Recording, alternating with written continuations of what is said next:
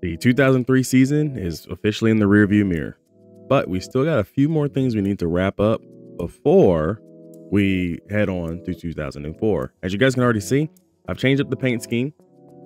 The paint scheme is definitely in the uh, spirit of testing. So we are definitely in a preseason test mode, but I have uh, come up with an idea as to what we're going to do for 2004 with the preseason stuff. All right. Uh, I can't wait to actually go into details on this, but it's going to be awesome. Again, if you somehow missed the last race, which was epic uh, for everybody else but me, Mark Martin is our current points champion over Tony Stewart, Jeff Gordon, Kevin Harvick, and Dale Jarrett. And we did wind up sealing the 15th place position just above Ward Burton. So we did finish 15th in our standings. But that's not really all we're here for, is it? Let's go ahead and hit new season to figure out what's coming up next. Mike Skinner and Kyle Petty have retired, which is surprising because sometimes in NASCAR Thunder 04, I have seen the 57 car, which is Kevin LePage, retire immediately as well. So for him not to retire this season means that Kevin LePage decided to come back for one more. So Mike Skinner has been retired and has been replaced by Chase Montgomery, while Kyle Petty has retired and has no replacement for that number 45 car. In case you were wondering, Mike Skinner did all 36 races, had no top fives or top tens, and finished about an average of 37.7 and finished 41st in the standings, despite starting all the races. Kyle Petty, uh, much the same. He started every race, had a best finish of 16th, but finished 34th in the standings. It's uh, rough to think about what's going on with uh, Kyle. So moving on, I am going to look at this to quote unquote change settings just so you guys can see. We ran that whole entire series on 10% legend difficulty, no career tips, and yellow flags were on with damage being normal. We're going to keep those exact same things. I haven't changed anything. There's no jump cuts. Everything is where it was. I just wanted to make sure I showed you guys that. Gentlemen, start your testing. NASCAR comes out of hibernation to get up to speed for another season. We're bringing you 30 minutes of preseason thunder at Daytona, complete with the usual cast of characters, some fresh faces, and of course, bodies dipped in primer. The defending race champ is there. His ride was a little bumpy,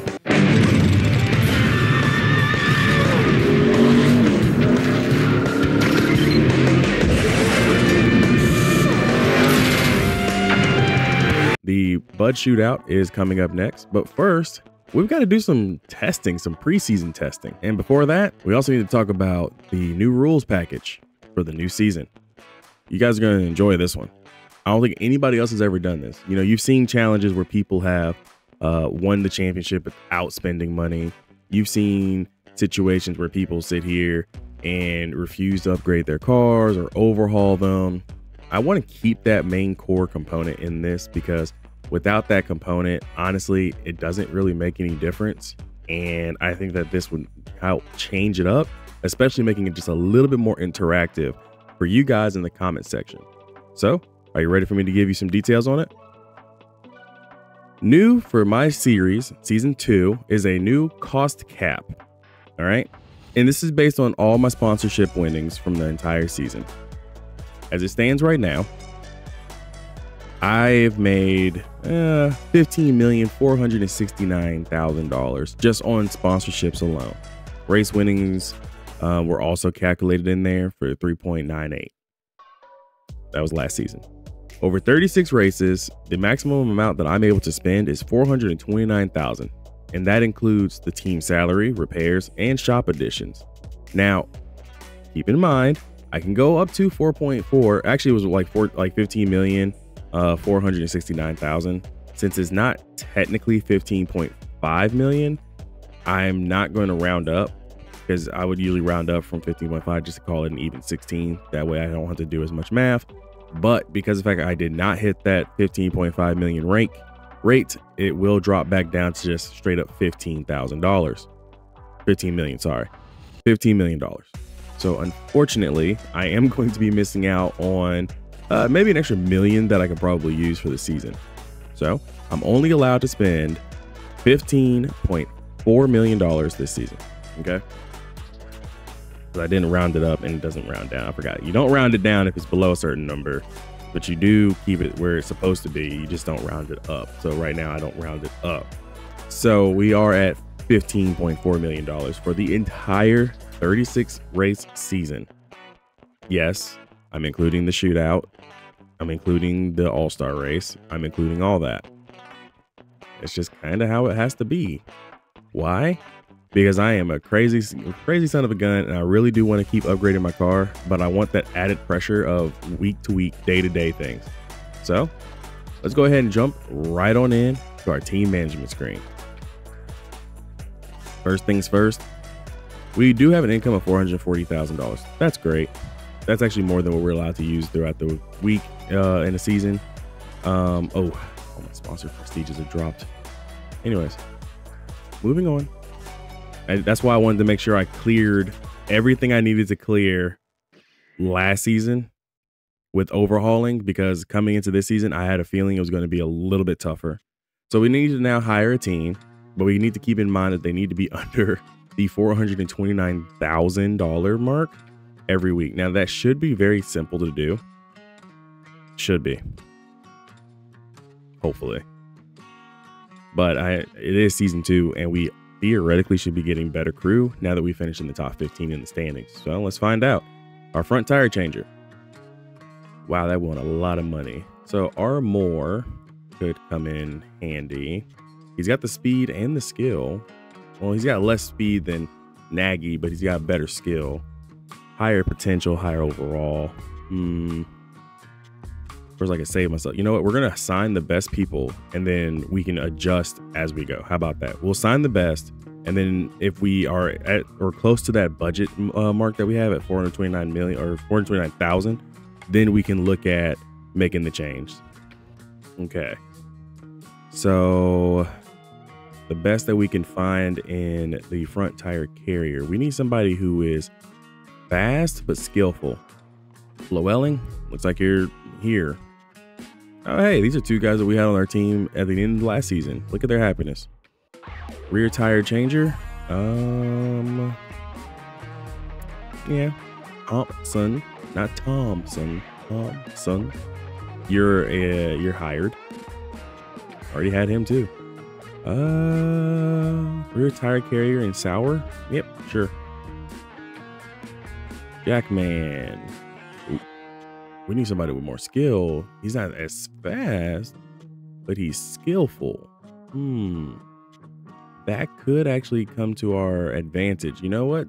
I'll take a chance on the Jackman with more skill. A skilled Jackman is better than an, uh, a fast one because a faster one with less skill could probably make more mistakes.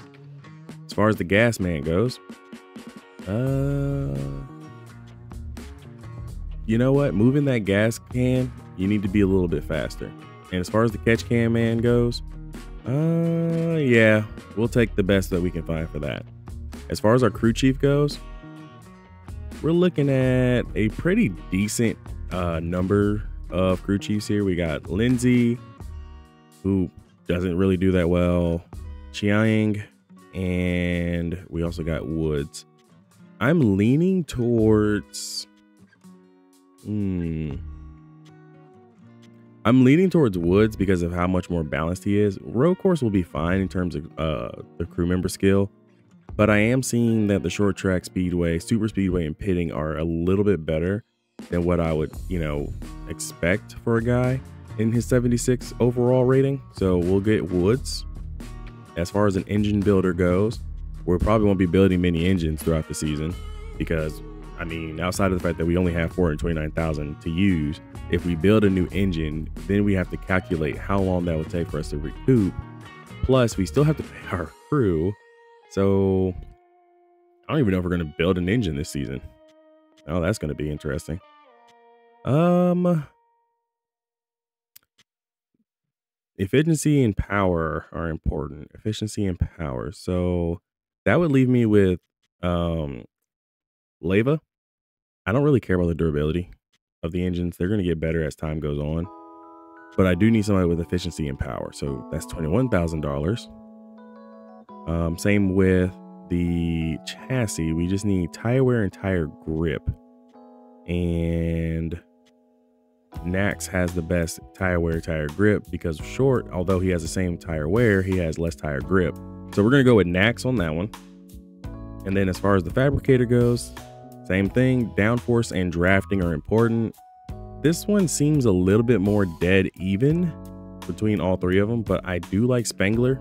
It just got a good name. So we're gonna get Spengler. Out of all that, we do have a new chassis builder, engine builder, and crew chief. Fabricator is a returner. Catch can, gas, jack, rear tire, uh, everybody else is new. Or everybody else is returning except for the crew chief, engine builder, and chassis builder. Okay. Altogether, that is $159,000. So that leaves us with, out of 429, um, let's do some quick maths here. Okay, not really. I'm just gonna cheat and use a, um, a calculator for all this because I went to school for something that was not math, and I like not having to worry about math. So I'm gonna have to force myself to actually worry about math this season. Can y'all believe I did that to myself? So that leaves me with $270,000 a week.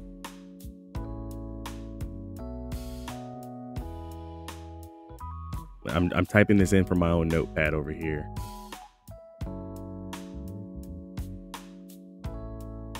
So that is 270k a week on repairing,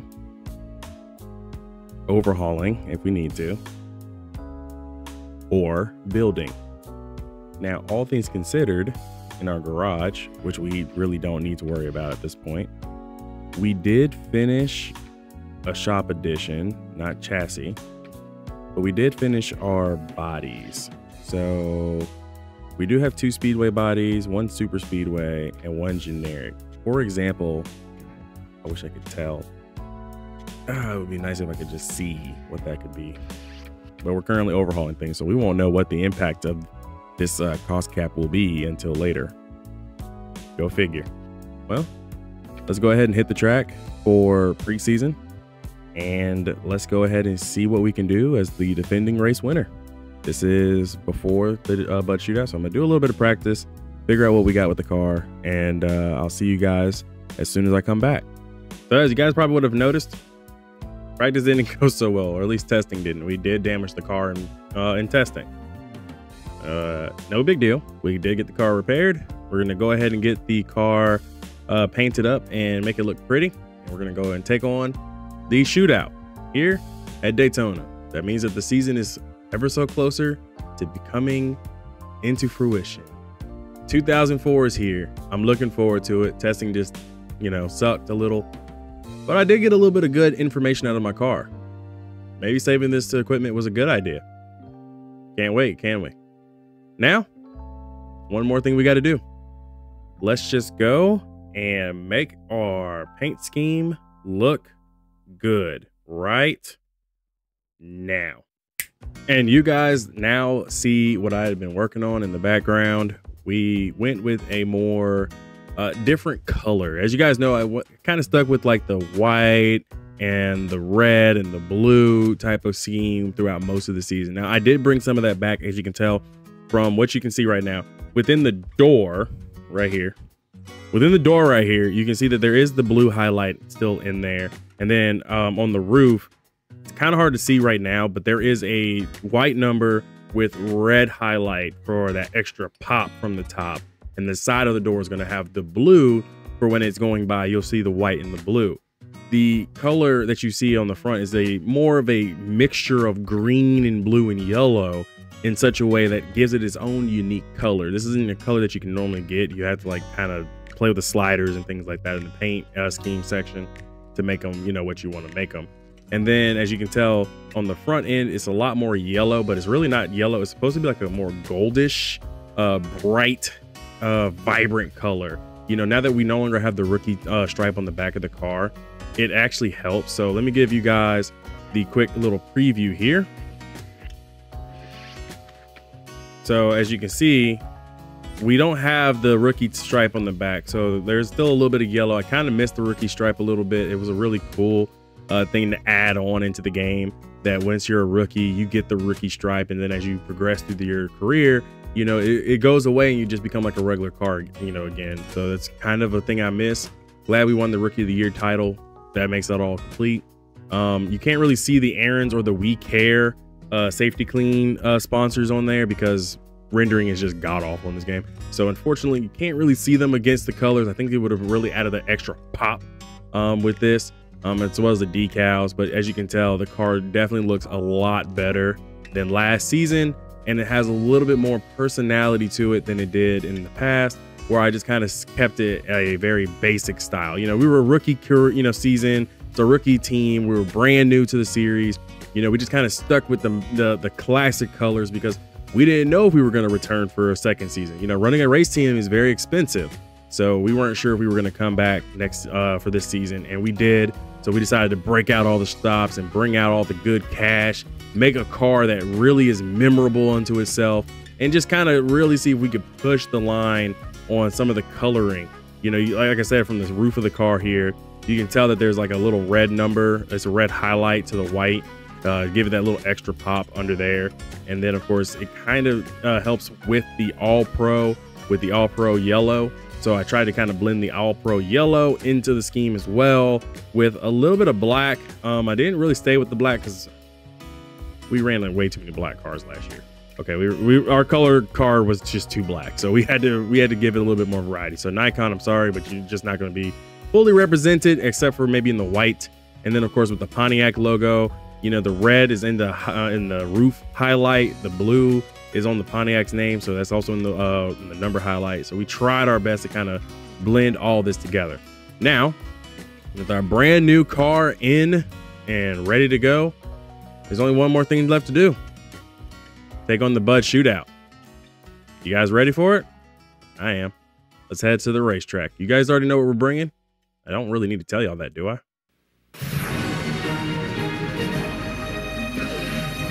Green flag, green flag.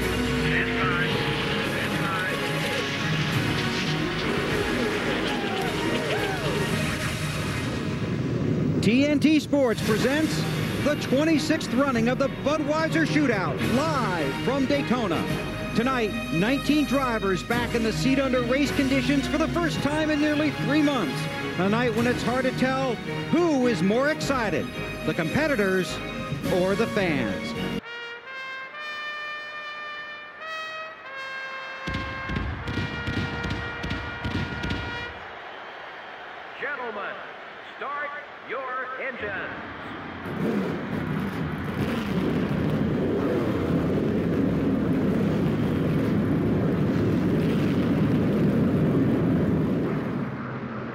So the shootout field consists of all pole winners from previous season. season. Each driver must make a two-tire pit stop under the green flag during the race. That's going to be new for us. A two-tire green flag pit stop. And we're starting sixth. Well, y'all ready? I am. Let's go. Let's get this 2004 season underway. Oh, we're starting right behind Dale Jr.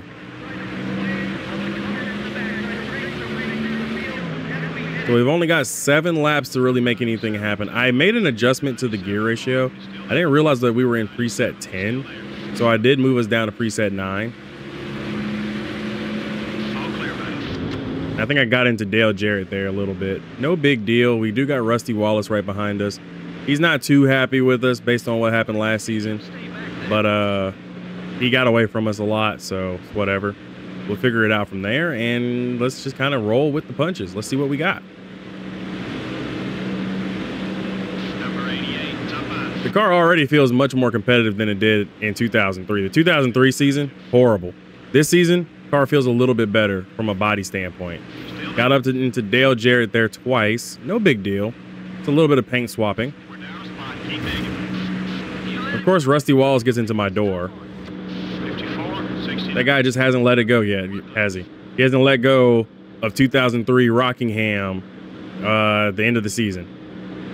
So making the adjustment on the gear ratios probably was a bad idea. Probably should have stayed preset 10 because preset 9 is not giving us all the power. It's like we're getting capped out here. So I'll have to make a decision at some point of when to come down pit road.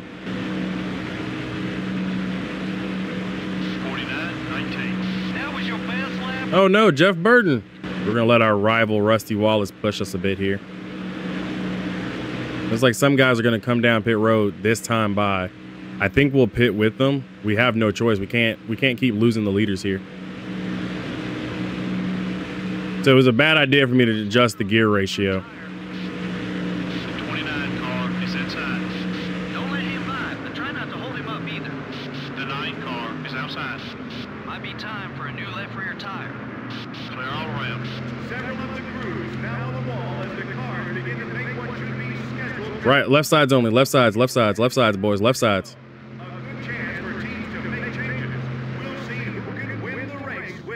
Let's get some fuel. Oh, those uniforms look smooth, don't they?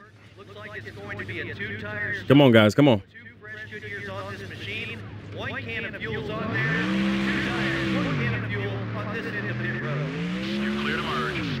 Good job, team. Good job. We're out on time. We're out on time. No big deal. That sun is blinding. I have I have faith in the boys in the ch- uh, chassis shop. I do feel like our uh, chassis won't wear out these tires as bad, and that's why I didn't slide them coming in. But I am gonna have to readjust the gear ratios for um, the Daytona 500. We cannot run the race with gear ratios like this. I thought I was doing a little cheeky play there. Uh, probably was a good reason why we were in preset 10. Should have stayed pre 10. I'm out here with a very sizable lead over the rest of the field, too. Oh, the 21 is out. Number 18 is inside. Whoa, is that two Fords that lost their motors? All clear, buddy. Because Jeff Burton lost his engine, and then Ricky Rudd lost his engine. So that's interesting to me. I just got to make qualifying based runs here. We're just we're just qualifying at this point. We're running qualifying trim. We're running as low as we can. I just want the payday for the day uh, for the Bud shootout. 50, 25. Okay, let's get after these guys now. Two more times around. Can't see nothing. You're clear. Watch the cars coming out of the pits, buddy. Fuel tank ought to be about half empty. Start out low. Who's the race leader? Kurt Busch. Clear all around. Just gonna pass you. Thanks. You the man, buddy. Leading the race. Let's widen the margin. You know, to be honest, if it weren't for me taking those two left sides, I do not think I would have caught up to Kurt Busch here. I mean, we're in the lead now, but there's no telling what he could do. I'm going to have to run in the mirror for the last lap here. He'll still be getting up to speed, but he still can, in theory, make a run at me. Oh, I am nervous. 50, Whoa, that was a quick lap. And I still can't see. One lap to go. The white flag is out. It is checkers the record. Don't hold back. The race to the line. Who will win this NASCAR Winston Cup Series event?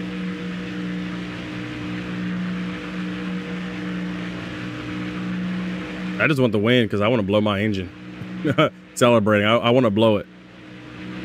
We're low on fuel. Blocking. Blocking.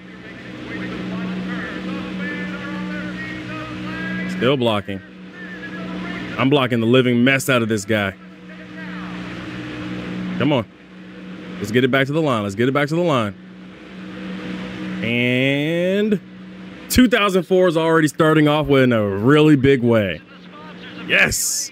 Hey, you mentioned me too. Nah, man. Burn it down.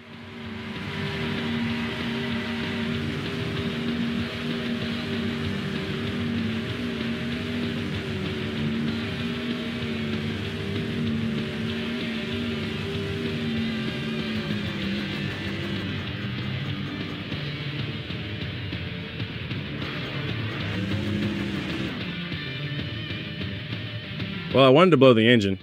Wound up running out of fuel instead. Probably for the best, right? now that is a smoke show if I ain't seen one.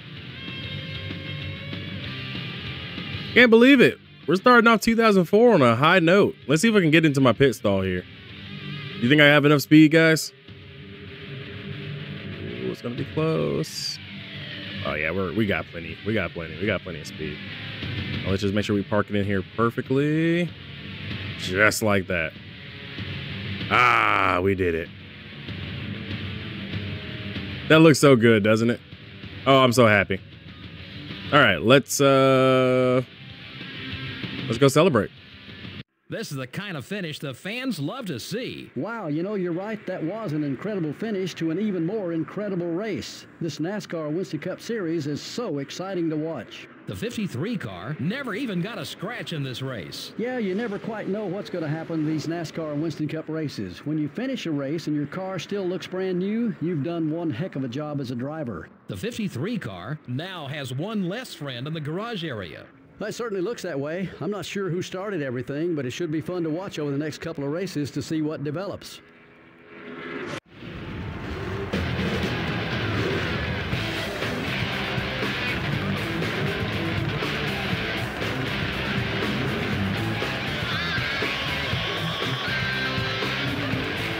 And just like that, our start to our 2004 campaign, the year after our rookie season, is off to a wonderful and tremendous start. It was a non points paying event, but I mean, at the end of the day, who really cares? It was all about the money.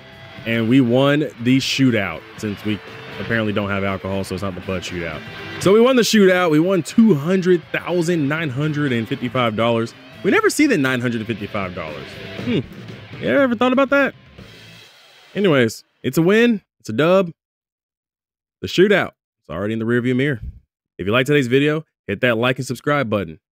I'll see you guys next time. Be easy, everybody.